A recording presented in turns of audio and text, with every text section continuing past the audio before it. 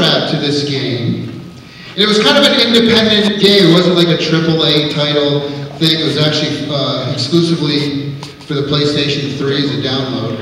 And the soundtrack, the soundtrack was the, uh, the highest debuting video game soundtrack on the Billboard charts.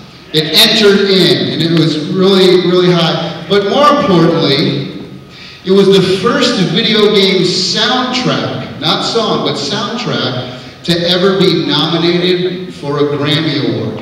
Yeah.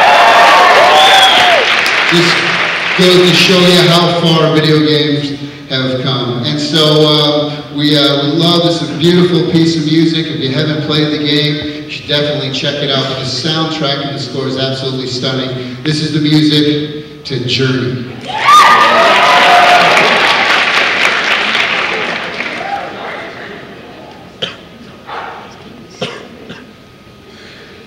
Dude, oh, dude, dude, dude, dude, dude.